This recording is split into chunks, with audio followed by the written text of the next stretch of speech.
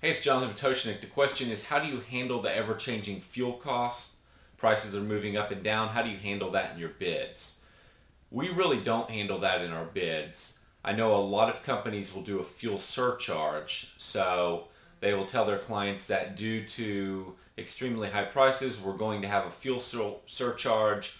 It's going to be based on a certain price. So I'll tell you that we don't do that, but let me tell you in one of my other companies, we did add a fuel surcharge. So this is not in the lawn care industry, but it's another industry where I have trucks and and we were doing a tremendous amount of travel. These trucks were moving between states. In that business, we did finally implement a fuel surcharge, and what we did, we notified all of our clients. We sent out a letter to all of our clients informing them of the surcharge, telling them exactly what was going on, why it was happening, explaining how we were going to handle it. And we were very upfront and very clear about it. We didn't hide anything, we just told them exactly how it was. And they got it. They completely understood because in they, they get the fuel price problem. They're paying the high price at the pump themselves when they drive.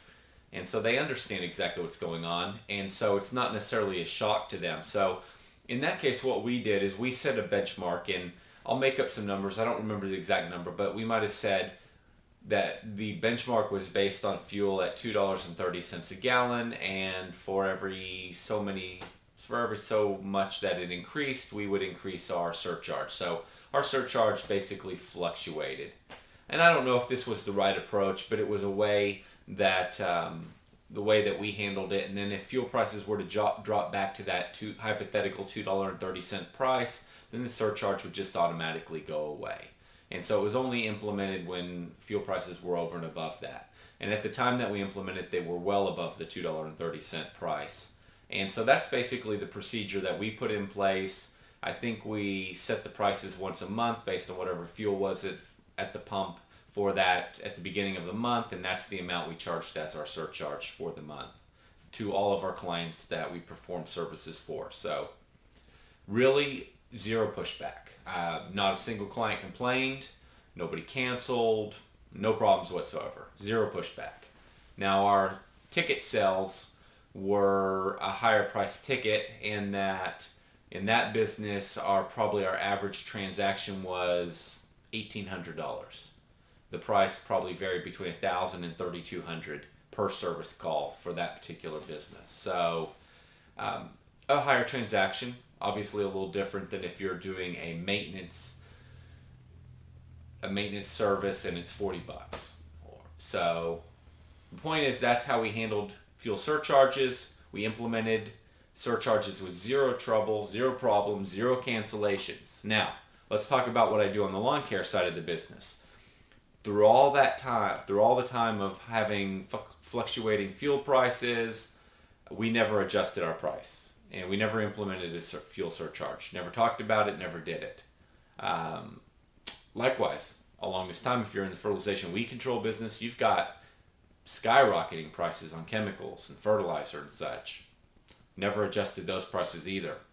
So this was a conscious decision on our part. We have a we have a, a lot of clients, uh, approaching 2,000 we just chose to not implement the fuel surcharge. We really are concerned with the thought that we might be nickeling and diming our clients. The surcharge spread out across each client would actually be quite small because we have so many clients because there's so a smaller amount of drive time. In the other business I referenced, there was a lot of driving involved, a tremendous amount. Um, some of our trucks would go out 300 miles, perform 10 days worth of work, and then return back 300 miles. So they'd have a round trip of six, seven, eight hundred miles. There was a lot of fuel involved. Some of those trips involved over a thousand miles of driving. A lot of fuel, but in our local market, we might send a truck out and it might travel 40 miles and throughout its entire day. Maybe more, maybe less, but it's not nearly the mileage that we encountered in the other scenario that really prompted us to implement something in the way of a fuel surcharge. And so rather than implementing something that equates to quite a small fuel charge, and granted, it would have been a nice amount of money to us as a whole throughout our whole client base, but let's say we're adding 35 cents to a client bill for mowing their lawn for 40 bucks. And again, I'm making up these numbers, but just hypothetically, let's say it's 35 cents. To a 30, 35 cents to a client feels petty. To me, if I have 2,000 clients and I'm getting an extra 35 cents per week from 2,000 clients, that adds up to money. That adds up to truly offsetting a little bit of the increased fuel cost. But from the client's perspective, 35 cents seems like it's 35 cents. Why are these, you know, these bums nickel and diming me for 35 cents? I'm already paying them 40. It just feels cheap to the client. They don't understand our perspective that, yeah, it's 35 cents times 2,000 clients, adds up to real money. So they don't see it. So from their perspective, it would have been petty. From their perspective, it would have just been, ah, what are these guys doing? it wouldn't have put us in a good light, so why do it? So we said, we're not going to mess with it. Rather, what I would do is if I'm going to deal with fuel surcharges, which I have more problems than fuel surcharges, you know, chemical cost and fertilizer and everything else that's going on in the industry, labor and all the other problems. If I'm really going to deal with something, what I'm going to do is just raise the price. I'm going to raise the price of my clients. And I'm going to realize that in raising the price, I might lose some percentage of my clients. Now, without going into pricing discussion, the numbers are fascinating when you talk about you could raise your prices 10%, lose 25% of your client base, and break even. Um, there's some interesting numbers like that depending on your net profit. So we're not going to go there, but uh, raising prices isn't really as scary of a thing as you might think it is when you really start running the numbers on price increases. So that's not the discussion. The discussion is increasing the price or fuel surcharges. I really just didn't participate in that. I chose to stay out. I think if you want to do a fuel surcharge, then you might implement it as we did with our other company. But if you think you can avoid it, I'd recommend you do not implement it. I'd recommend that if you need to adjust prices, just simply adjust the price and leave it and just do it that way. And then if fuel prices move down, all the better, you're ahead of the game. I'm just not too much of a fan of tacking on additional costs, especially when they're small. And so the client just sees it as 35 cents. You know, you're wasting my time. This is ridiculous. You guys are petty.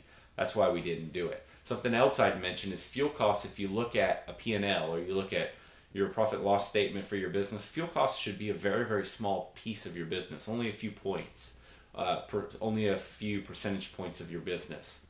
And so if you really want to focus your effort on something, I'd really look at labor how can you optimize labor? That's probably the biggest cost you have in your business. You know, then you've maybe got a materials cost if you're in a landscape business. Maybe you look at your chemical cost, fertilizer, chemicals, whatever. Maybe look at um, insurance costs, things of that sort. But if you want to zero in on any one thing to focus on in your business, I'd look at payroll. If you shed just a couple points off payroll by better uh, implementing a good computer system where you guys have handhelds, where you can track them better, where there's more accountability, where you see everything that's going on. Are they working fast? Are they getting in and out of the job quick? How's it compare to what they did last week and three months ago? You know, what's going on? Where are they slower? What are your procedures to get them into your office or into your uh, your facility, get all their equipment and get out fast, and likewise do the same thing again at the end of the night. Shaving off 15 minutes per crew or 15 minutes per man or 30 minutes per man per day, that equates to some real money. Focusing on that, you can easily save enough money to offset your entire fuel bill for the year. So um, I'm not belittling or taking away at all from the discussion on fuel because I agree, I feel the pain, and that's very, very relevant. But um, I chose to ignore it just simply because of the perception it might have with my clients, and therefore I just feel that it's more important